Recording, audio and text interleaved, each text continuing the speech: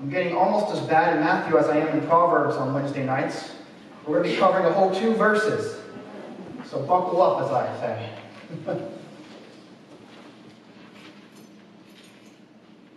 it's been kind of a heavy chapter, as it not, as we talk about persecution, as we talk about how the world is not always going to be fond of, of the church and its message.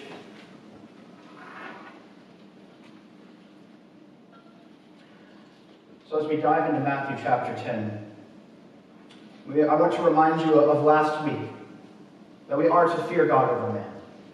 Jesus makes that point very clear as he talks about what man can do to us. Because man can certainly harm us in many ways. Man can kill us. They can. And Jesus didn't want his disciples, when he was about to send them out, to be, to be unaware of that. He goes, guys, you will be killed for preaching the gospel, for preaching truth. Especially when people don't want to hear truth, when the truth is unpleasant. They don't want to hear that. And it can make them angry. They will turn against you, and they will hand you to their rulers. They will hand you to the governors. They will destroy you. But do not fear them. Fear God.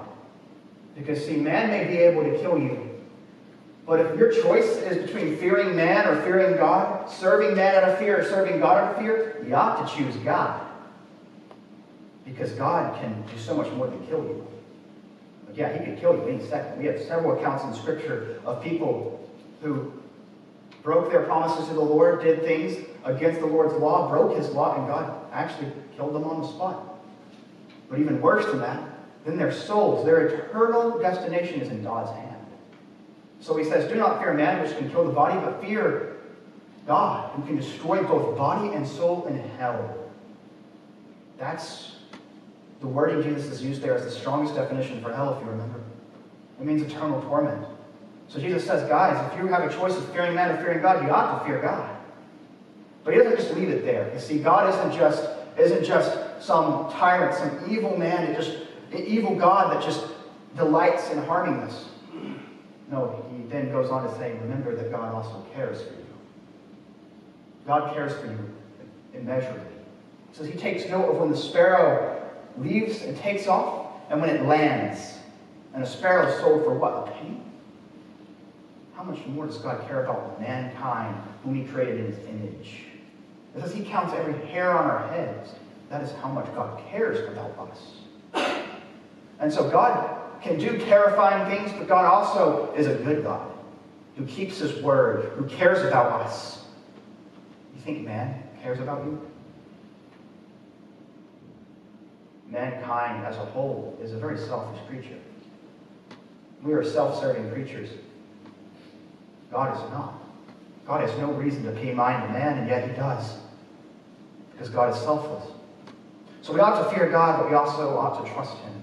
He's far more trustworthy than any man. And so that's where Jesus uh, brought us to by the time we reach verse 32, where we're going to be this morning. Let's read it. Verse 32. Therefore, everyone who confesses me before men, I will also confess him before my Father who is in heaven. But whoever denies me before men, I will also deny him before my Father who is in heaven.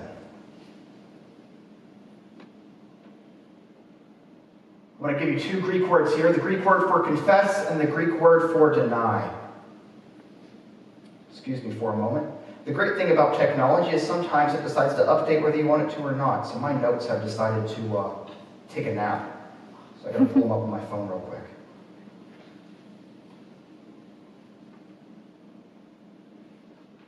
All right. So don't worry, I'm not up here texting. I, would be a horrible multitasker. Anyways. um,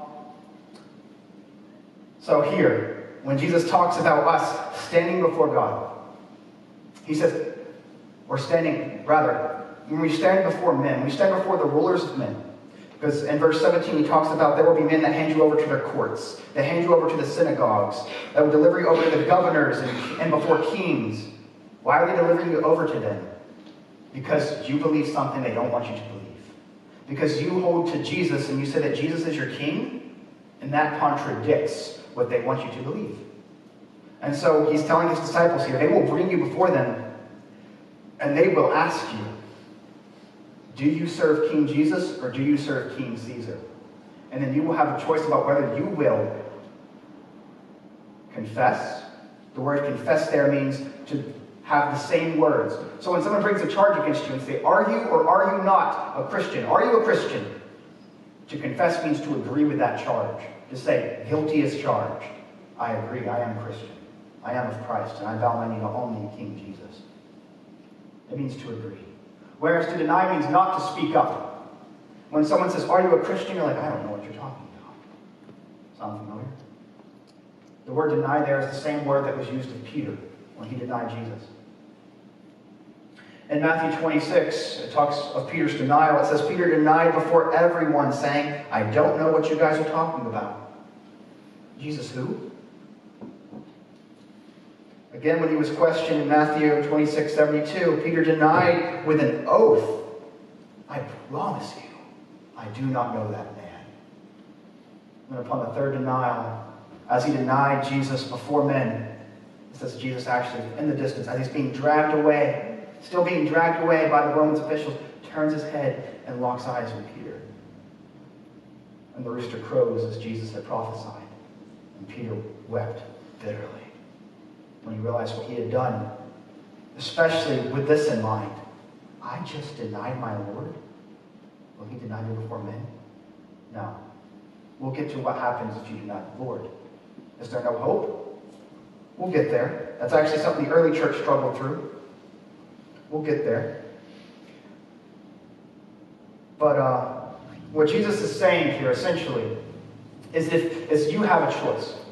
Are you going to follow Lord Jesus or are you going to follow men?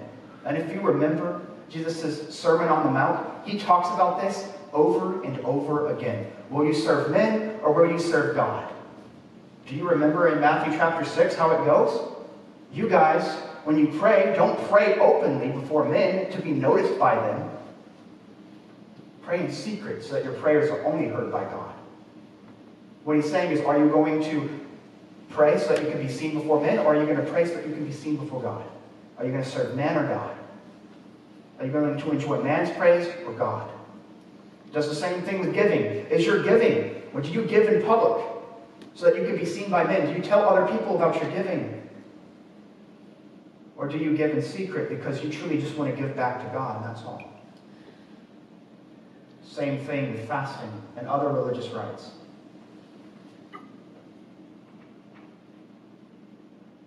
Will you serve man or will you serve God? That's what the Sermon on the Mount is, is essentially all about. And then he gets to Matthew chapter 7. If you turn there with me, Matthew chapter 7.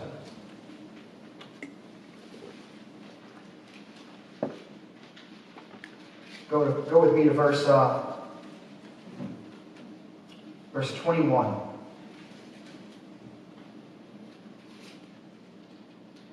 He says, Not everyone who says to me, Lord, Lord, will enter the kingdom of heaven, but he who does the will of my Father who is in heaven will enter.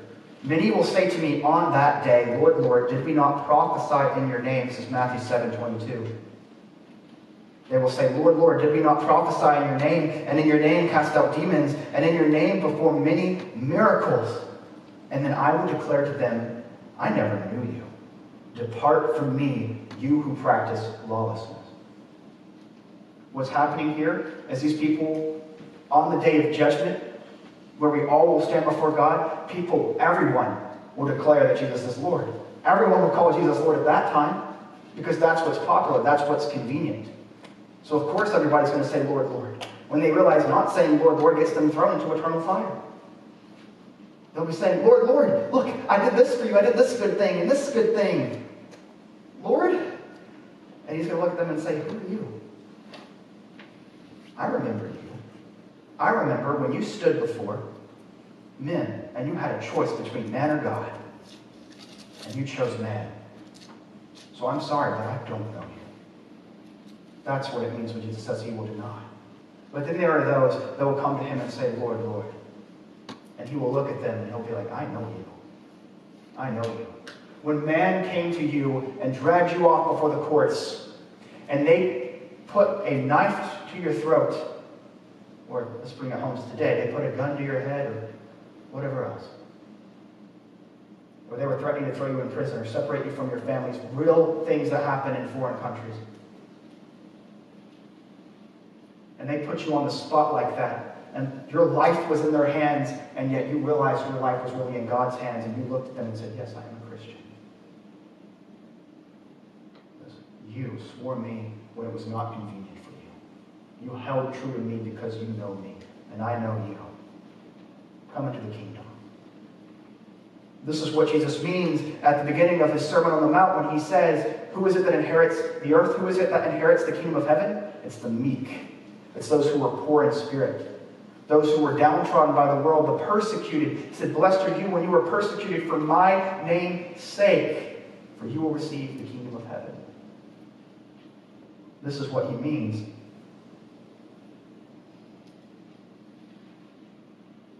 Will you fear God or will you fear man?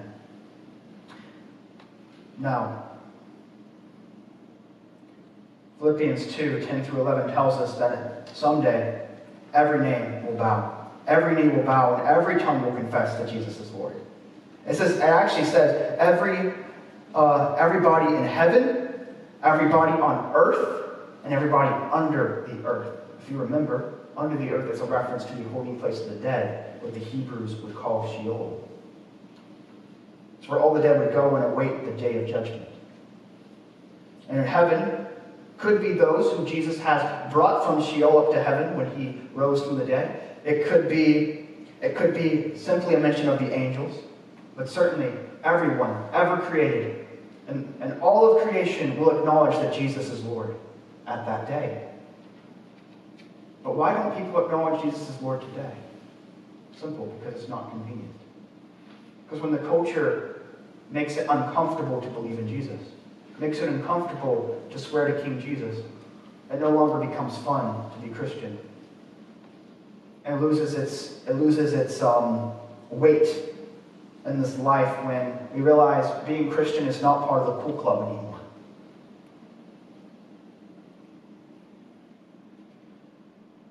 Romans 8, 16 through 17, it says, The Spirit bears witness with our spirit that we are children of God. And if children, then we are heirs, inheritors of God's kingdom, joint heirs with Christ. We love saying that, but we do not finish that verse often. Provided that we suffer with him. Then we may be glorified together with him. Guys, Jesus is not a buffet. He's not some card you can pull out when it's convenient and you can tuck away when it's not. Jesus is your life. My life verses, Colossians 3, verse 4, says it very plainly. Your life is hidden with Christ, and when life, who is your life, appears, then you will appear with him in glory. Jesus has become our life. He is our new life. He is our one connection to God. So do not forsake him. Hold fast to him. He is your lifeline. Even when holding to him would see you dead, he is your lifeline.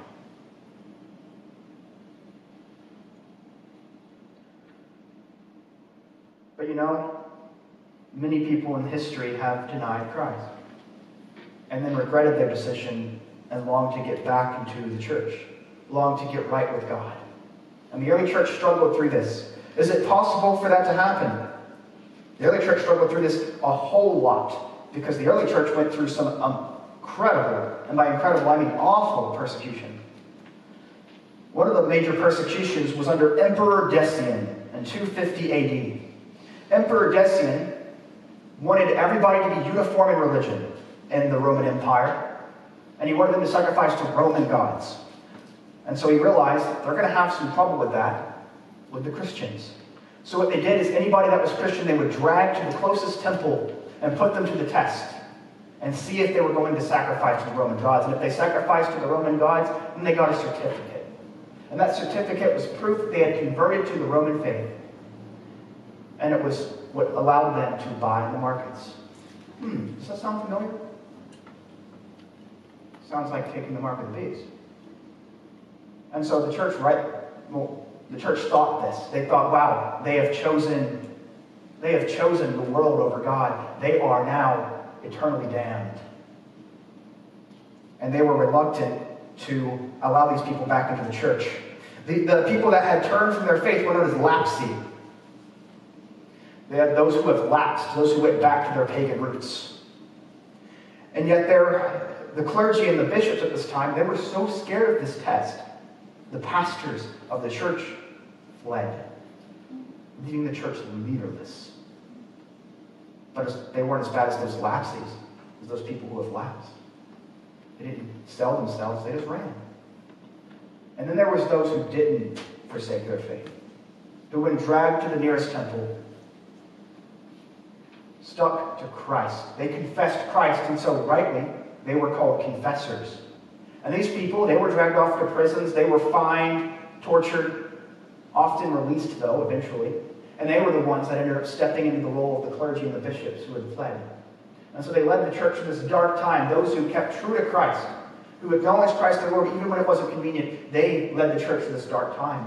And then after the persecution, when Decian stopped this persecution, then the bishops came back and there became a power conflict. Because surprisingly enough, the clergy, the ones who had fled, the cowards, they were the ones that were like, no, these lapsing that want to come back into the church, we won't allow it. They're not allowed back. And it was the confessors, those who put their life on the line and declared Christ, were saying, no, they can be forgiven. They were the ones that stuck up for the last. And so they, they wrestled with this. They're like, how do we reconcile with this? Because they have committed an atrocious sin.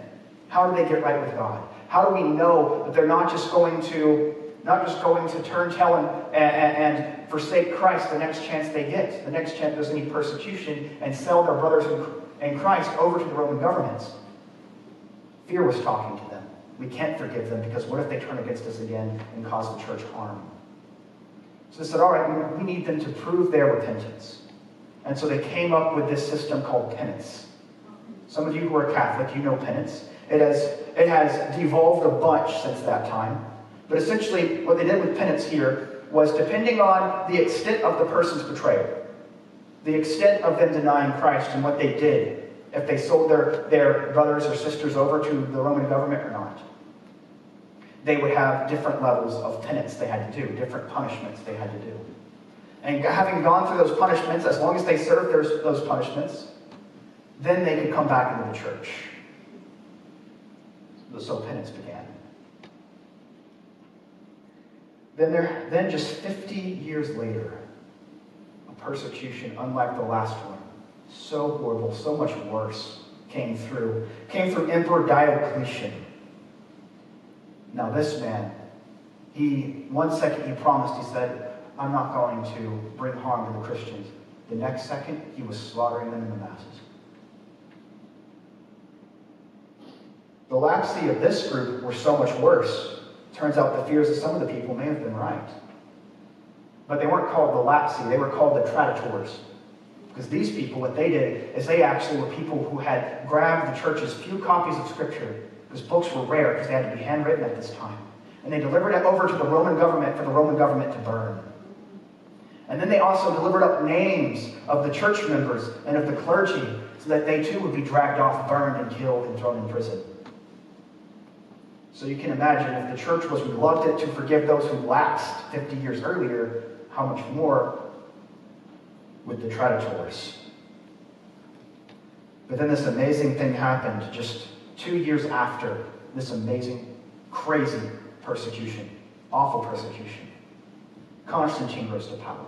If you remember Constantine from your history classes, he was a Roman man who uh, was losing in war. And he said, and then he said, why not? I'll try the Christian's God. And so he prayed to the Christian God, and he said, and he said, God of the Christians, if you will grant me this victory, I will be Christian. And sure enough, he won. And then two years later, immense whiplash in the country. Everyone was Christian. Christian became popular. And so the traditors realized it was no longer convenient to be antichrist. And so they begged and they wept to get back into the church.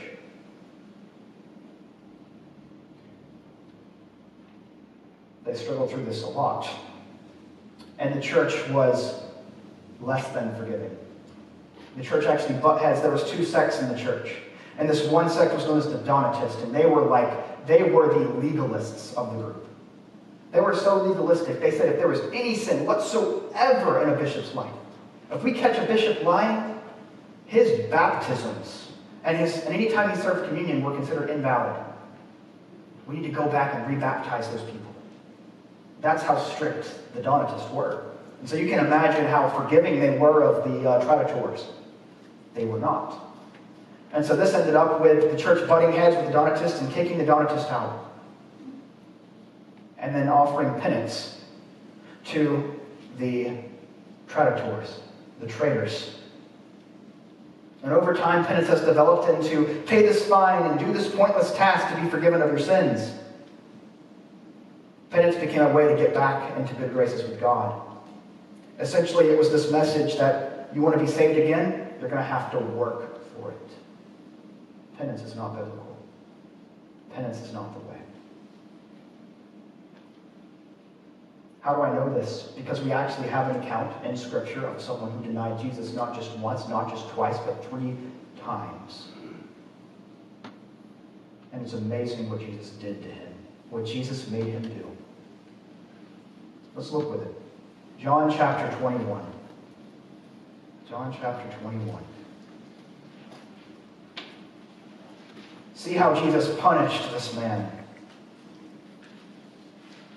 for being a traitor.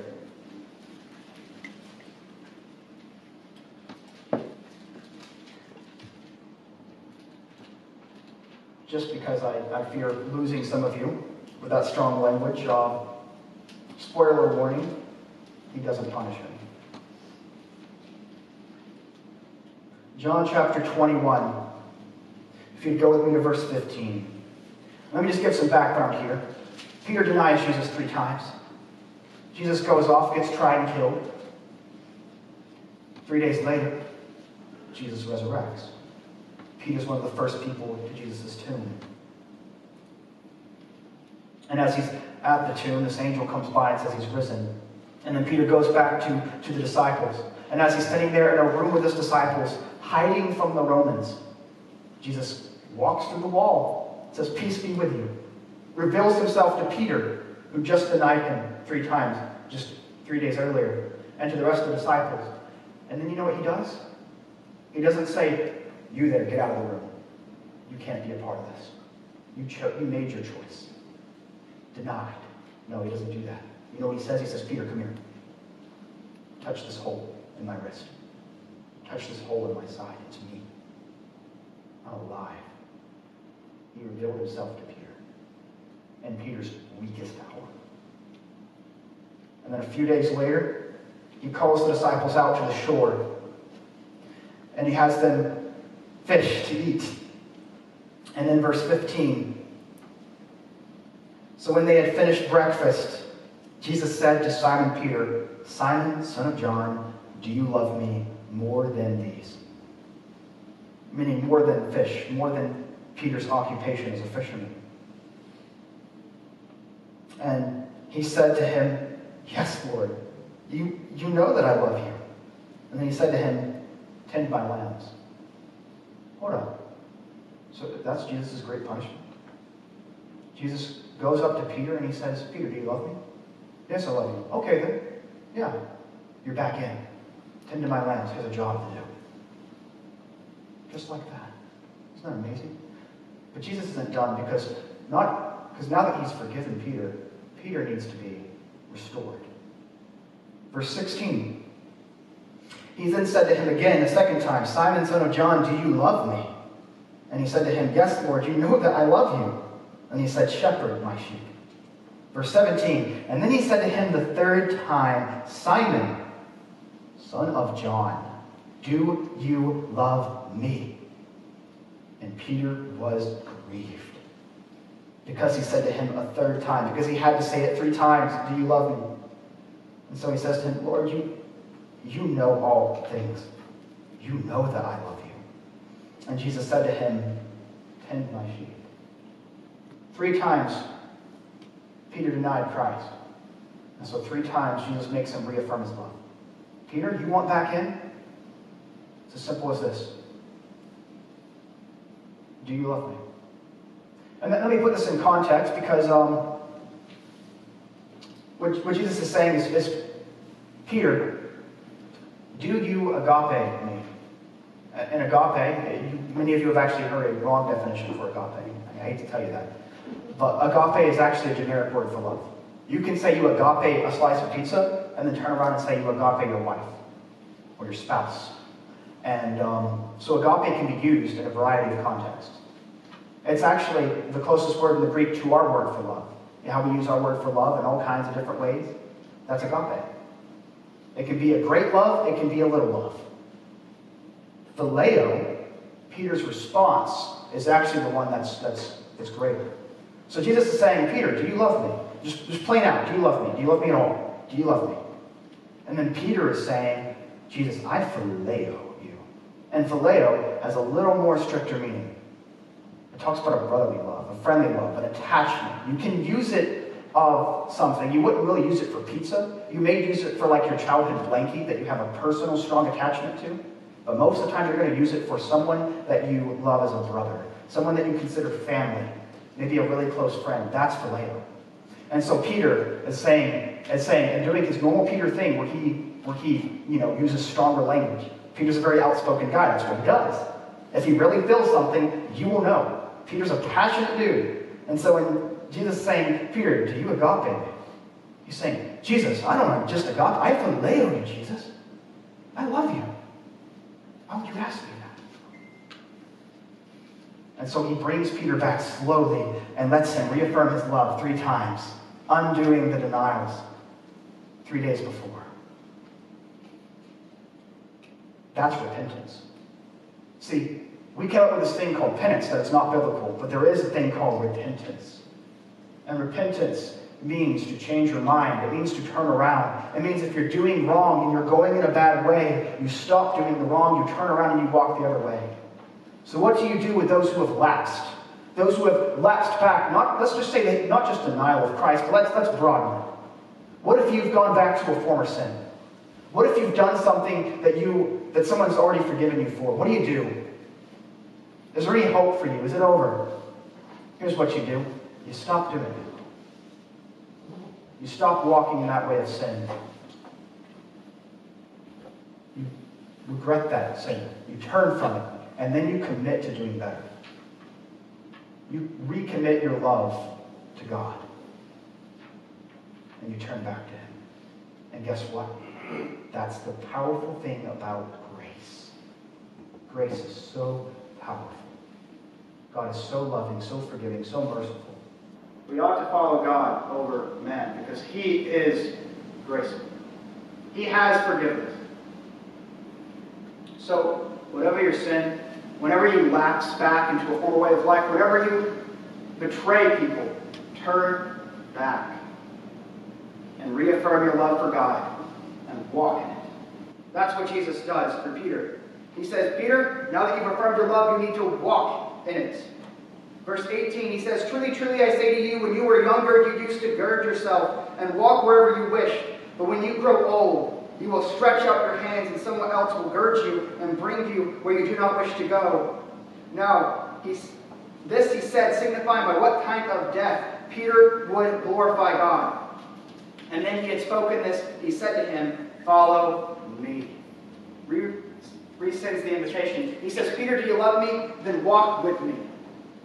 So, people, whatever sin you've done in the past, turn from it. Repent and follow Jesus. Acknowledge Him as your Lord.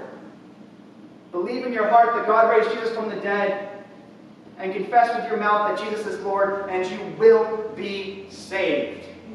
If you're on this side of eternity, that always holds true for salvation. It will always get you out of hell and get you into good graces with God because that's our God. He is that loving, He is that kind. That's the God we serve. So repent and believe. It holds true to this day. Now, I have a friend who, um, I'm going to walk down to this mic. I had a friend who majorly strayed from his walk with the Lord. Did some horrible things, and he's a wonderful musician. And I always remember this song because it was such a heartfelt prayer for him. It really was him stepping back into good relationship with God. I just want to share with you a, a lyric from it. The chorus, really. He said, God, I've taken your temple, talking about his body. I've taken this body that you've given me and I've burned it to the ground. And then he says, Is there more grace for me? Is there more grace for me at all? That's a powerful prayer because he knows the answer. The answer is yes, there is more grace because that's our.